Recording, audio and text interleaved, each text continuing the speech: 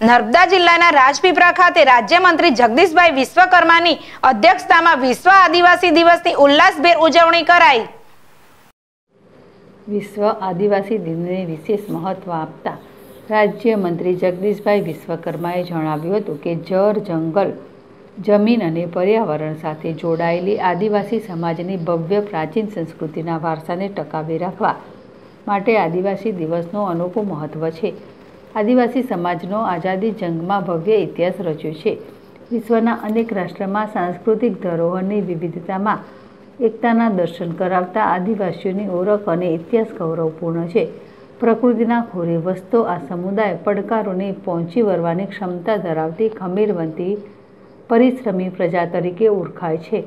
ભારત અને ગુજરાતમાં વસવાટ કરતા મૂળ નિવાસી સમુદાયનો આર્થિક, સામાજિક, સાંસ્કૃતિક, શૈક્ષણિક આરોગ્ય બાબતે ઉત્કર્ષ થાય અને તેઓ પણ અન્ય સમાજને હરોળમાં આવી શકે. તે માટે કેન્દ્ર, રાજ્ય સરકારોએ જ્યાં નાગરિક, ત્યાં સુવિધાના મંત્રને ચરિતાર્થ કર્યો છે. નાનુના ધારાસભ્ય ડૉક્ટર દર્શનાબેન દેશમુખે આદિવાસી દિને નિમિત્તે પોતાના પ્રાસંગિક ઉદ્બોધનમાં જણાવ્યું કે ઓગણીસો ચોરાણુંના વર્ષમાં સંયુક્ત રાષ્ટ્ર સંઘે નવ ઓગસ્ટને આંતરરાષ્ટ્રીય આદિવાસી દિવસ જાહેર કર્યો. ત્યારથી દર વર્ષે નવમી ઓગસ્ટના દિવસને આંતરરાષ્ટ્રીય આદિવાસી દિન તરીકે ઉજવવામાં આવે છે. ત્યારે આદિવાસીના સર્વાંગી વિકાસ માટે સરકાર દ્વારા કરવામાં આવી રહેલ અનેકવિધ સહાય યોજનાઓ આપવા સરકાર કટિબદ્ધ છે. તત્કાલીન મુખ્યમંત્રી અને હાલના વડાપ્રધાન નરેન્દ્રભાઈ મોદીએ કન્યા કેળવણીને પ્રાધાન્ય આપતા આજે શિક્ષણ થકી નર્મદા જિલ્લો અનેક ક્ષેત્રમાં આગળ વધી રહ્યા છે.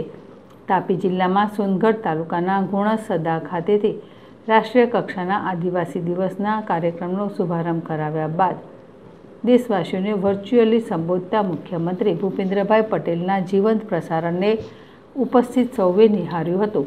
આ કાર્યક્રમમાં આદિવાસી સમાજના વિશિષ્ટ સિદ્ધિ મેળવનાર પ્રગતિશીલ પશુપાલકો ખેડૂતો વિદ્યાર્થીઓ કલાકારો સહિત રમતવીરોને પ્રશસ્તિપત્રો એનાયત કરી સન્માનિત કરવામાં આવ્યા હતા.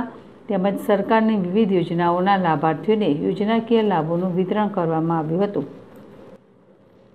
દીપક જગતાપ જેડેશ ટીવી રાજપીપળા. નવ ઓગસ્ટ એટલે વિશ્વ આદિવાસી દિવસ.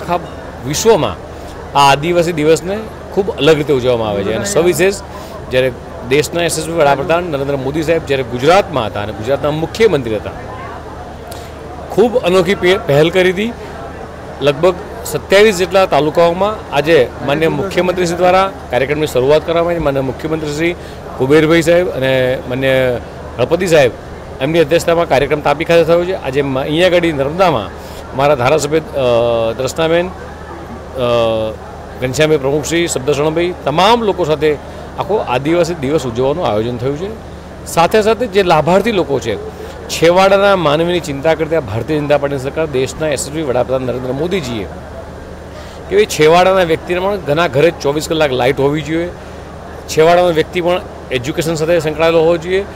છેવાડાના ગામનો વ્યક્તિ કે દીકરી કે દીકરી, આદિવાસી ભાઈ કે બહેન, એ દીકરો કે દીકરી ડૉક્ટર બને, પાયલોટ બને આ તમામ પ્રકારની સુખ સુવિધાઓ માત્ર શહેરો પૂરતી સીમિત ના રહે, પણ ગામડાઓ સુધી, છેવાડાના વ્યક્તિઓ સુધી પહોંચે એ નેમ કોઈએ પૂર્ણ કરી હોય તો દેશના યશસ્વી વડાપ્રધાન નરેન્દ્ર મોદીજીએ કરી છે અને સાચા આત્મા ચરિતાર્થ કરી છે. આપણે જોયું કે લાખો રૂપિયાની સહાયો એ on the table on the dais આપવાનું કામ કોઈ કરતું હોય તો ભારતીય જનતા પાર્ટી સરકાર માન્ય ભૂપેન્દ્રભાઈની અધ્યક્ષતામાં અત્યારે થઈ રહી છે. સત્યાવીસ જિલ્લાઓની અંદર જ્યાં કાર્યક્રમ છે, ત્યાં દરેક જગ્યાએ આદિવાસી ભાઈઓ બહેનોને જે મળતા લાભો, એ તમામ લાભો અને લાભોના ચેકો ઇવન નર્મદા જિલ્લામાં જ્યાં સોનોગ્રાફી સેન્ટર ખોલવાનું છે, તેમને પણ રૂપિયા ચોવીસ લાખની બેંકની સહાયની લોન પણ અહીંયાથી આપવામાં આવી છે. પશુપાલક ભાઈ બહેનો હોય કે પીએજે પીએમ જેવાય કાર્ડ હોય, આ તમામ પ્રકારની સુખ સગવડો એ આપવાનું કામ એ પણ સરકારે કર્યું છે.